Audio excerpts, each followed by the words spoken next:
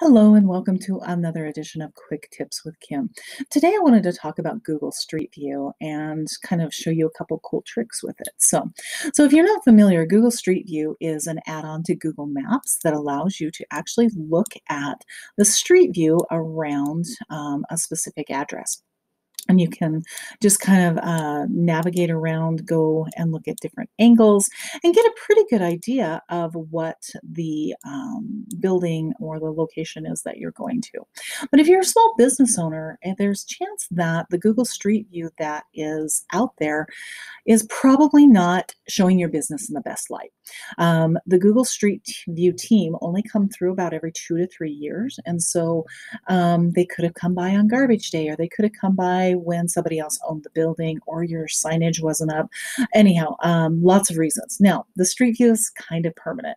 And I say kind of permanent because it's permanent until the next time they uh, come through and they upload new updated footage. So, what can you do about it? Well, you can use your Google My Business listing and take really great photos of the outside of your building and upload those to your profile. And um, that will uh, take precedence on your profile and people will see those more than the street view. Now, if you want to know the next time the street view team is going to be in your area, there's actually a way that you can go check this out. So at this URL, um, which I will put down in the comments, you can kind of look and see uh, what's going on with the street view team. And you can actually go explore and look at some of the really cool places that they've been, but you can look and see what their schedule is for the next year or so. And as you can tell, like right now, um, where I'm recording this, they're in Alabama in these counties, right?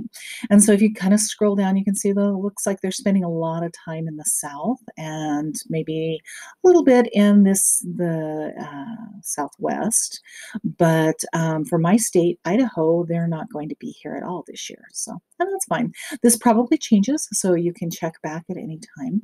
But you just kind of get an idea of when they're going to be around and um, if that is the case, then, you know, do your sprucing up, get a new sign, maybe paint the building, be aware that, they're coming. So, anyhow, if you like this tip, give us a thumbs up, drop us a comment, uh, subscribe. Thanks a lot for tuning in, and we'll see you next time.